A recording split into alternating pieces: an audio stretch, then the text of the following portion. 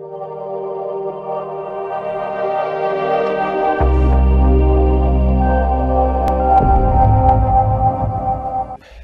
ekonomisi açısından e, tabii e, son derece ilginç bir süreçten e, geçtiğimizin yeterince farkındayız.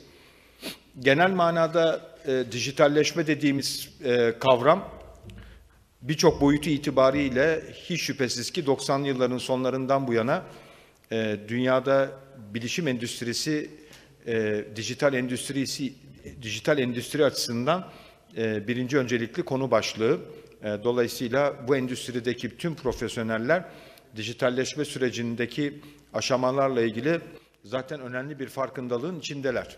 Ancak dünya vatandaşları açısından baktığımızda e, bunun o derece e, olmadığını, o boyutlarda olmadığını da e, ifade etmek lazım.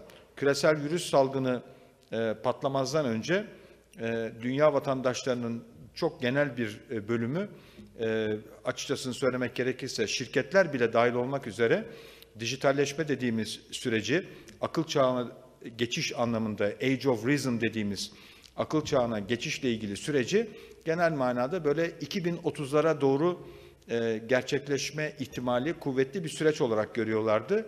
Ve dolayısıyla da nasıl olsa 2030'a doğru hız kazanacağından dolayı da bireyler, kurumlar, e, dünyadaki bütün e, aktörler, ekonomideki bütün aktörler zamana yayılmış bir süreç olarak e, buna baktıklarından dolayı da genel manada bir böyle bir dijitalleşme ile ilgili olarak aslında yavaş ilerleyen hatta tembel ilerleyen bir süreç söz konusuydu.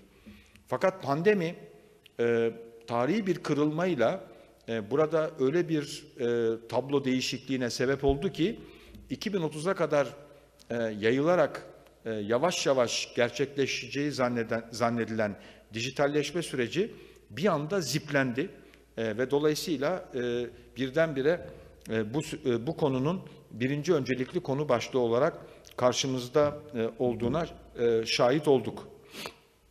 E,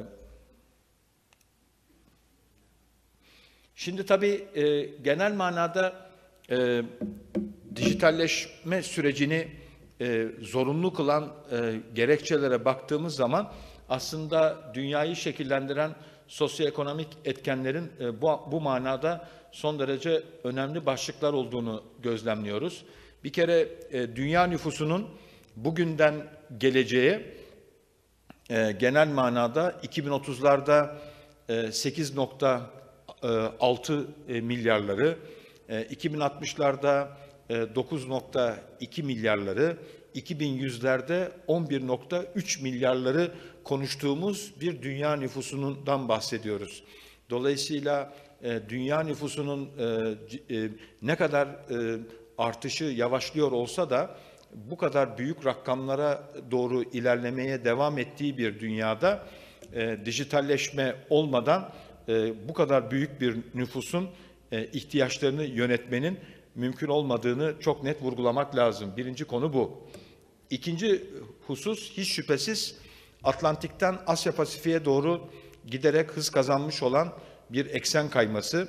E, dolayısıyla e, çok kısa bir dönem içerisinde e, Asya Pasifik'in dünya ekonomisinde ağırlığını tekrar yüzde 60'ların üzerine çıkaracağı bir gelecek bizi bizi bekliyor.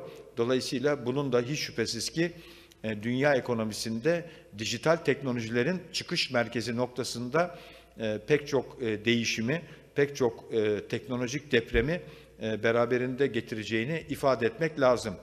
Ekim 2020 itibariyle 79 milyona yakın satışıyla Samsung dünyada bir numaralı akıllı cihaz firması iken e, şimdi e, Apple'ın 40 milyon civarındaki satışıyla dördüncü sıraya düştüğünü ve Huawei ile birlikte Huawei ikinci sırada 52.3 milyonluk satışla 50, e, ikinci sırada e, şu anda e, adını hatırlayamadığım bir başka Çin firması Zomi falan gibi böyle e, oldukça da zor e, bir e, adı var. Xiaomi, evet. Bu X'i bir türlü şey şeklinde okumayı öğrenemedim. Xiaomi firmasının da yaklaşık olarak e, 50.9 e, milyonla 3. sırada yer aldığı bir e, küresel e, değişim görüyoruz. Bu vesileyle de önümüzdeki dönemde Atlantik İttifakı'nın e, bu ekonomik güç değişimi nedeniyle e, dünyada dijital teknolojilerde ağırlığını daha da hızla kaybedeceği bir dünyaya doğru gittiğimizi ifade etmek lazım.